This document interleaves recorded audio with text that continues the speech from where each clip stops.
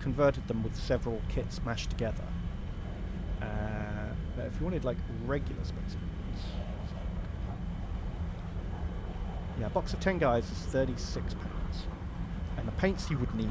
Paints are about two or three. Well, they're Vallejo paints about three pound a bottle, and if you need like, I don't know, probably six, six or more paints to get started.